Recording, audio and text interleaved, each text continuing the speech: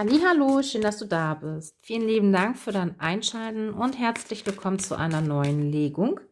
Lass uns mal schauen, was hier so los ist. Und während ich die Karten mische, machst du dir einmal bitte bewusst, dass das eine allgemeine Legung ist. Du kannst damit resonieren, musst es aber nicht. Schau daher bitte, ob das Ganze hier überhaupt auf dich passt und stimmig ist. Zweitens, Triggerwarnung ist möglich. Drittens, zeigt sich dein Gegenüber, kann es sein, dass du dich trotzdem in dieser Energie wiederfindest. Heißt, dass die Energien einmal dann komplett verdreht und vertauscht sind. So, was haben wir denn hier? Was gibt es denn hier schon für Energien im Vorwege? Nadelöhr auf einem Bein tanzen.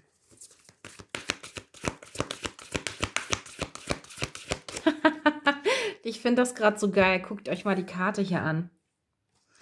Guck mal hier, dieses Bein, dieses Füßchen zeigt hier direkt aufs Nadelöhr rauf. Es ist so, als, als würde man durch irgendetwas versuchen wollen, durchzugehen. Ja.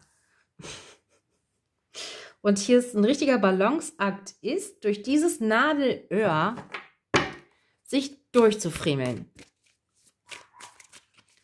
Okay.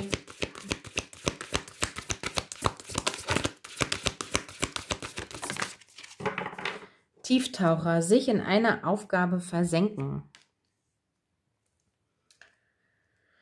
Intentionalität. Intention. Sich in eine Aufgabe versenken. Was ist der Grund? Was ist der Grund? Warum macht man sowas? Was, was ist das hier? Es ist irgendwie so, als würde hier jemand ähm, den C in einen Teich oder was auch immer eintauchen, um mal zu fühlen, wie ist denn so diese Wassertemperatur? Ja, das ist so, so, so eine Art von Anbaden, sich antasten, ähm, irgendwie so was ganz Vorsichtiges, etwas ganz Vorsichtiges herantasten, dass man hier einfach nur macht um mal zu gucken, ähm, wo das Ganze denn hier eigentlich hingehen soll. Also es ist irgendwie so, pass mal auf. Es ist so. Hier zeigt sich eine Energie an, die sehr vorsichtig ist, ja, die sich herantasten möchte an eine Angelegenheit, die man hier einfach nicht kennt. Hier geht es um den Tieftaucher, sich in eine Aufgabe versenken. So, es scheint mir danach zu sein, als, als hätte hier jemand wirklich ist hier jemand wirklich tief eingetaucht in eine ganz bestimmte Materie, wieder hochgekommen, also sprich wieder aufgetaucht mit einem ganz neuen Bewusstsein und will nun versuchen, dieses Bewusstsein, diese Erkenntnisse, die man hier erlangt hat, jetzt versuchen möchte umzusetzen. Dadurch wird man hier jetzt nun auf einem Bein tanzend versuchen wollen, sich durch dieses Nadelöhr hier durchzufriemeln. Weil das hier eine ganz neue Angelegenheit ist. Das kennt man so nicht. Das ist irgendwie was ganz Frisches hier einfach, weißt du? Und dann erst einmal sich antasten wollen, vorsichtig anpirschen, um zu gucken, ja, wie ist denn so die Wassertemperatur? Kann ich das machen? Kann ich da eintauchen? Vielleicht ist auch jemand jetzt gewillt, tiefer zu tauchen, tiefer einzutauchen und eine ganz bestimmte Materie die hier vielleicht noch nicht so ganz äh, erforscht war für die jeweilige Person. Was auch immer das hier sein mag, ja. Aber im Endeffekt geht es darum, hier jetzt einmal tiefer einzutauchen, sich das auch zu trauen, ja. Das ist ja hier eine gewisse Vorsicht und Angst, die man hat. Mm, und ähm, durch diese Vorsicht und Angst will man sich ja hier erst recht durch dieses Nadelohr durchwriemeln, wenn man sich Stück für Stück da durchwrängeln möchte, da man keinen Bock darauf hat, hier irgendwie in einen freien Fall gelotst zu werden. Aber das passiert hier nicht. Das, was hier passieren soll, das ist so die Auffassungsgabe darüber, ähm, sich hier mit Thematiken auseinanderzusetzen, die tief im Verborgenen liegen. Ja, es geht hier viel um Emotionen und Gefühle, Schattenthematiken, die man sich eine lange Zeit nicht angeschaut hat, die man hier verdrängt hat. Ne? Und hier kommt nun eine Aufgabe auf jemanden zu. Das kannst du natürlich jetzt auch selber sein ähm, um sich hier mit dieser Thematik dementsprechend auseinanderzusetzen und sich hier eine Gegenüberstellung einzuholen. Ja, also das Ganze hier reflektiert sich viel hinterfragt. Warum, wieso, weshalb, weswegen. Warum ist das so? Na, ähm, genau, aber ich habe das hier eher auf einer sehr ganz, ganz neutralen Ebene. Ich habe das hier irgendwie nicht so negativ behaftet, nee, sondern eigentlich eher so ganz neutral. Wirklich ganz, ganz neutral. So, Jetzt möchte ich doch mal gerne wissen, worum es sich hier handelt. Worum geht es hier genauer? Was können wir denn dazu... Ach, ich lasse es einfach. Was können wir denn dazu wissen? Was können wir denn dazu wissen?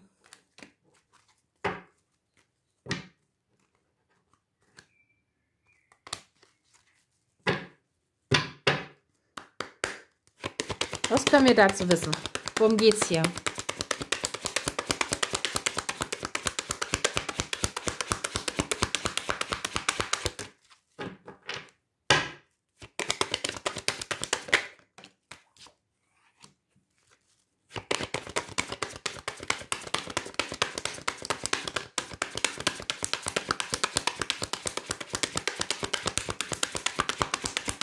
Ist aber schwer hier heute wieder.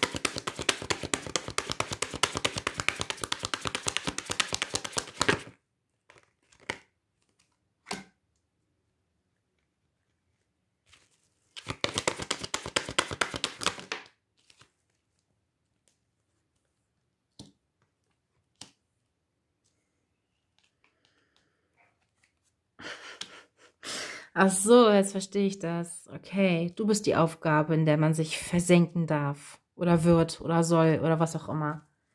Du bist hier die Aufgabe für jemanden. Hier. Ihr habt einen Vertrag, ihr habt ein Versprechen. Das möchte eingehalten werden. Okay, davor hat jemand Schiss. davor hat hier jemand Schiss. Jemand hat Angst vor dir, vor dieser Aufgabe mit dir zusammen das Ganze hier anzugehen, was ja jetzt hier nicht negativ irgendwie gedeutet ist. Nein, es ist halt einfach nur so dieses Unbekannte, ja. Sich hier herantasten wollen an eine unbekannte Person, also du dementsprechend, die hier etwas ausstrahlt oder verkörpert, das man so nicht kennt. Ne? Darum geht es ja einfach das man hier einfach nicht kennt. Und ich sehe auch, hier gab es echt Schwierigkeiten bei euch. Ne? Eure Startsituation, eure Anfangssituation, die war sehr, sehr schwer. Hier gab es schon zu Beginn viele Hürden und Schwierigkeiten. Ne? Viele hatten hier auch Kommunikationsprobleme gehabt. Es ging um Ghosten. Es ging hier auch um Missverständnisse, die ausgesprochen worden sind. Ja, man hat aneinander irgendwie vorbeigesprochen. Irgendetwas ist hier nicht auf einen Nenner gekommen oder konnte nicht zusammengeführt werden, weil es einfach damals noch nicht so richtig an der Zeit war. Ne? Und diese Blockaden, die haben hier echt eine lange Zeit gebraucht, bis die jetzt endlich mal sich auflösen. Ne? Und diese Blockaden, die lösen sich auch auf. Und wohin führt das Ganze? Zu einer positiven Veränderung für dich. In deiner Richtung wird sich etwas positiv verändern, das, was du jetzt hier eigentlich noch gar nicht so wirklich weißt. Das, was du eigentlich nur weißt, ist, hier ist jemand ein Risiko eingegangen, hatte ich hier irgendwie, ich weiß nicht, sitzen gelassen, alleine gelassen, was auch immer bei euch passiert sein mag. Ja, das ist jetzt hier ganz unterschiedlich. Und ähm, hatte ich hier sozusagen irgendwie einfach stehen lassen. Man hatte hier nicht weiter abgeholt, man hat hier irgendwas gesagt und plötzlich war man weg.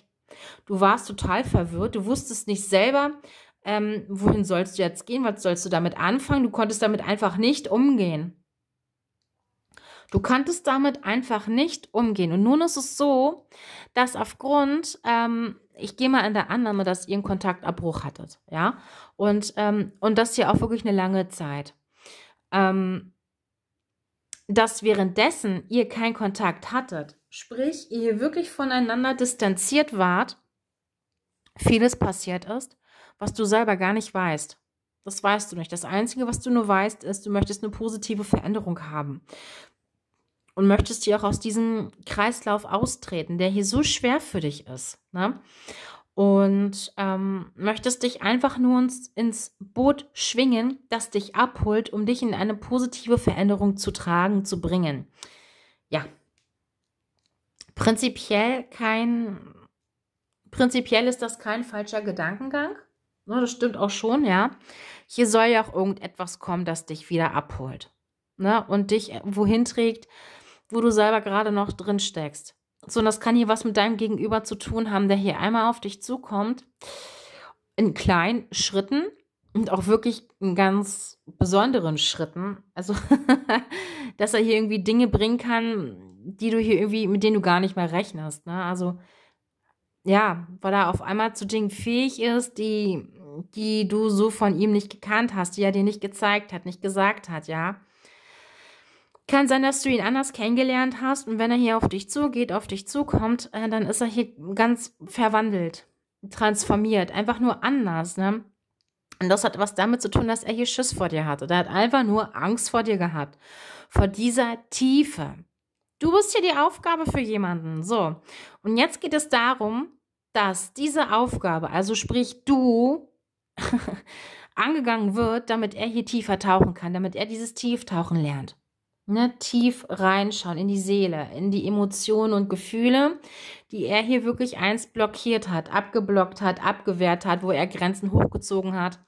Ja, es kann auch wirklich sein, dass er dir hier die kalte Schulter gezeigt hat, die hier irgendwas gesagt hat, die Scheiße behandelt hat, mit Worten natürlich, ne? Dass er dir da irgendetwas gesagt hat, ähm, im Sinne von, ähm, es wird hier nicht weitergehen, ich will niemanden mehr haben, ich habe da keinen Bock drauf ähm, kann mir mal gestohlen bleiben, irgendwie sowas. Ne? Und ähm, das Blatt hat sich hier aber definitiv gedreht. Hier hat sich etwas verändert. Er wusste zu dem Zeitpunkt schon damals, ähm, dass du hier etwas Wichtiges mit, mitbringst. Ne? Und, und ähm, davor hatte er damals aber einfach nur Schiss gehabt, ne? weil er das nicht kannte. Das ist hier irgendwie eine Begegnung der dritten Art, die du verkörperst, die du ausstrahlst. Und ähm, das hat ihn hier ziemlich nervös gemacht, den Guten. Ne? Und jetzt geht es darum, genau dieses, was man hier hochgezogen hat, diese Blockaden, diese Grenzen zu verlassen, um in diese positive Veränderung mit dir einzutauchen. Und das wird, das wird geschehen, das wird er hier machen. Ob es jetzt nun mit dir sein wird oder ohne dich, das weiß ich nicht. Ja, das sehe ich hier tatsächlich nicht. Ich weiß nur, ich sehe nur, dass du mit involviert bist. Na? Und zu gegebener Zeit er hier auf dich zukommen wird, um das kann aber gut wirklich durchaus möglich sein, dass du erwischt, das ist dir wahrscheinlich selber auch noch gar nicht bewusst. Ne? Du hinterfragst dich ja hier auch, was der Sinn und Zweck dieser ganzen Angelegenheit hier überhaupt zu bedeuten hat. Ja, das hat einen Sinn und einen Zweck gehabt, und zwar für ihn. Bist du hier ein ganz besonderer Sinn und Zweck. Ne? Du verkörperst hier wirklich eine Aufgabe, die er einfach nicht kennt. Und um diese Aufgabe gilt es nun einzutauchen hier etwas mit Tiefgang zu erleben, vor dem er hier Schiss hatte. Und das weißt du hier höchstwahrscheinlich nicht. Ne, weil er sich dir ganz anders gegeben hat, sich ganz anders gezeigt hat, Dinge gesagt hat, die halt nicht so nett sind. Ne? Ja, da hat die Angst aus ihm gesprochen. Ne? Nee, und das will ich nicht und lass mich damit in Ruhe, ich will damit nichts zu tun haben und so weiter und so fort. Ja, auch sogar ähm, die Aussage, du lügst doch, kam hier durch. Na, wo du es ernst gemeint hast. Du hast die Wahrheit gesprochen. Und er hat dir gesagt, du lügst. So, und genau diese falsche Angehensweise, was man hier über dich denkt oder gesagt hat und, und, und. Das sind alles seine Lernthematiken, die er hier jetzt angehen muss, die er angehen wird. Und du bist darin mit involviert, weil du dazu fähig sein wirst, ihn dahingehend auch zu führen, ja, und auch nicht fallen zu lassen. Er hat wirklich Angst, fallen gelassen zu werden. Ne? Wenn er sich hier durch dieses Nadelöhr durchwriemelt, dass er Schiss hat, ganz, ganz tief zu fallen. Muss er aber nicht, weil du da bist, um ihn aufzufangen. Wenn du es überhaupt möchtest, mach bitte damit jetzt das, was du, was du willst, ja? Ich gebe die Botschaft hier nur weiter.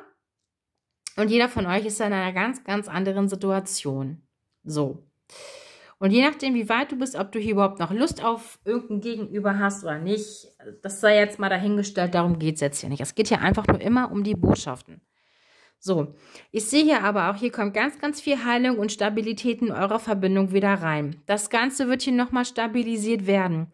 Hier darf ein neues Fundament, ein neues Grundgerüst aufgebaut werden das auch ausbaufähig ist. Also sprich, dass es weitergeht, ja. Denn hier hat jemand sich etwas angeschaut, ganz genau angeschaut. Du hast hier irgendetwas mitgeteilt, irgendetwas hast du gesagt, rausgegeben an Informationen, dass man sich hier immer und immer wieder durchliest, immer und immer wieder permanent genau anschaut, richtig analytisch an diese ganze Angelegenheit rangeht, ja. Und ähm, das, was du gesagt hast, das ist irgendwie hängen geblieben. Ja, das, das hat gefruchtet. Das ist hier wirklich hängen geblieben, ähm, womit man arbeiten kann, womit dein Gegenüber arbeiten kann. Ne? Und ähm, hier möchte man dir auch irgendwas mitteilen. Man möchte dir etwas sagen. Etwas, das hängen geblieben ist, möchte man dir sagen. Und das, was hier hängen geblieben ist, das ist irgendwie deine eigene Antwort auf eine Frage, die du hier selber natürlich auch noch hast. Weil du stehst ja auch hier wie im Wald und nicht abgeholt. Wie so ein begossener Pudel stehst du hier. Ne? Oder standest da. Du bist ja mittlerweile auch viel geheilt und transformiert und stabil aufgebaut. Eigentlich tangiert das Ganze dich hier gar nicht mehr so dermaßen. Ne? Aber hier kommt jemand auf dich zu und will dir hier etwas mitteilen, etwas sagen. Ne? Ähm, etwas im Sinne von, ähm, ja, das Vertrauen ist hier erst einmal ganz wichtig, ja, zu vertrauen. Es kann auch sein, dass sich hier jemand hier irgendwie durch dich so gefühlt hat, als würdest du hier jemanden versuchen wollen, in eine Falle zu locken. Das war natürlich nicht deine Intention. Es ist halt einfach nur aufgrund schlechter Erfahrungen aus der Vergangenheit, die er hier auf dich projiziert hat. Na, und deswegen hat man dich hier wie so ein Stück Dreck behandelt. Um es mal auf den Punkt zu bringen. Na? Und aufgrund schlechter Erfahrungen aus der Vergangenheit, die man auf dich projiziert hat, dachte er hier natürlich auch, Du willst ihn auch hier nur in die Falle locken. Aber nein, hier kommt nämlich eine mega krasse Erkenntnis rein. Ähm, und, und genau das will er dir hier irgendwie mitteilen. Etwas, das du gesagt hast, ist hängen geblieben und etwas, das du gesagt hast, hat sich auch für ihn selber bestätigt oder für sie. Männer, ihr müsst das bitte mal auf euch selber um. Ne? Hier kommt irgendwie echt eine krasse Bestätigung rein, die dich selber hier irgendwie aus einem verwirrten Zustand rausholen wird. Mit der du auch dementsprechend arbeiten kannst. Ne? Und das, was man dir hier sagt, das hat Hand und Fuß, ja. Also was dir dein Gegenüber dementsprechend dann hier rausgeben möchte, hat Hand und Fuß. Ja, ob du nun diese Hände und Füße annimmst, das ist dir überlassen. Ja, du machst ja hier mit der Legung sowieso das, was du möchtest. Ja, da halte ich mich ja komplett raus. Ich bin nur der Botschafter. Aber das, was man dir hier sagen möchte, dass etwas hängen geblieben ist und dass du recht hattest mit dem, was du gesagt hast, hat Früchte getragen, das ist hängen geblieben und hat sich für ihn auch im Außen durch eine sehr negative Erfahrung bestätigt. So. Und das wird hier irgendwie so ein Mitteilungskonzept sein, ja? Also, dass man dir das hier wirklich mitteilen will. Der Brief ist auslegend. Mitteilung kommt nach Hause rein. Also musst du mal gucken. Es kann auch sein, dass du hier schon recht lange auf irgendetwas wartest. Ja, vielleicht auch schon seit einem Jahr circa ja, dann ähm, habe ich hier auch irgendwie so eine Art Abkürzung. Dieser wartende Zeitraum, in dem du schon drin steckst, der wird irgendwie abgekürzt werden. Ja, hier kommt dann ähm, plötzlich geht es schneller als erwartet. Das möchte ich damit sagen, weißt du? So, na gut, dann lasse ich es mal so stehen und schau mal, was dir diese Legung hier bringt. Lass uns mal auf die Sternzeichen noch abschließend gucken. Der Löwe der Skorpion, die Waage, die Jungfrau, Krebs, Wassermann, du machst hier wieder einen Querschläger. Wassermann. So, na dann hoffe ich mal, die Legung war dir hier sehr dienlich und du konntest für dich selbst einen ganz wichtigen Impuls mitnehmen. Ich danke dir für dein Einschalten und freue mich aufs nächste Mal. Bis dann!